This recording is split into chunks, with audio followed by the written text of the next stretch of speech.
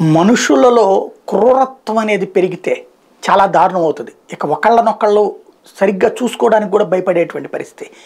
ఈ మధ్యకాలంలో అలాంటి పెరిగిపోతున్నటువంటి భయం అయితే స్పష్టంగా కనబడుతుంది. ఏదైతే ప్రేమించిన అమ్మాయిల్ని ముక్కలు కోసి ఫ్రిడ్జుల్లో పెట్టేటువంటి దుర్మార్గులు కనబడుతుంటే తాజాగా హర్యానాలో మరో దారుణం జరిగింది. ప్రియురాల్ని కెనడా నుంచి పిలిచి మరీ హత్య చేశాడట ఒకడు.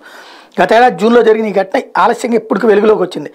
మౌనిక అనేటువంటి అమ్మాయి రోహ్తక్ గ్రామంలోని లాలండ్ గ్రామానికి చెందినటువంటి అమ్మాయి ఐఐఎల్టీఎస్ శిక్షణ కోసం సోనిపత్ ప్రాంతంలోని గుమాడ్ గ్రామంలో ఉన్నటువంటి తన మేనత్ ఇంటికి వచ్చింది.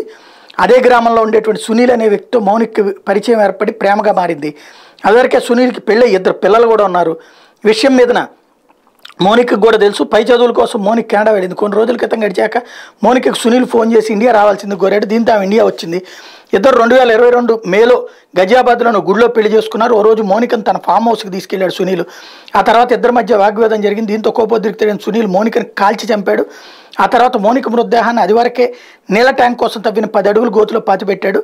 మౌనిక్ కెనడా నుంచి తిరిగి వచ్చిన విషయం ఆ కుటుంబ సభ్యులకు తెలియదు ఆమెకి ఎన్నిసార్లు ఫోన్ చేసి స్పందించకూడదు పోలీస్ స్టేషన్లో కేసు నమోదు చేశారు. దర్యాప్తు చేపట్టిన పోలీసులు ఈ నెల ఇరవై రెండు నిందితుడు సునీల్ని అరెస్ట్ చేస్తే ఈ విషయం బయటపడింది.